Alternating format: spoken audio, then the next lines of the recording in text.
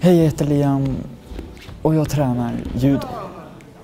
Det var i Special Olympics School Day. Alltså. Då fick vi prova massa olika saker.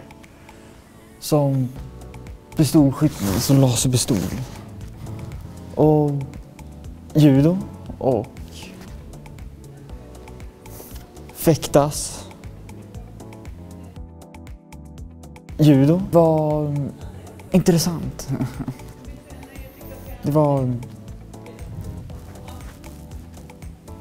en känsla, en känsla jag fick. Kan inte riktigt beskriva den känslan. Någonting kul. Ja. Där, så. Och så får du flytta på den. annars får du- Efter, då um, pratade jag med mamma om jag fick börja på judo. Och vad sa hon då? Ja.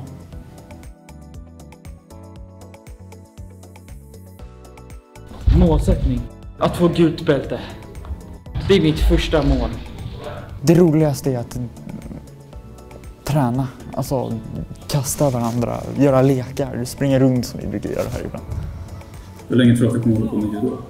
Hur länge?